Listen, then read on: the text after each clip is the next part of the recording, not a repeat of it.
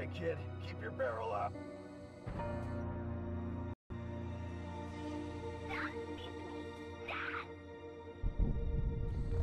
Gotta go help out that freaky little girl.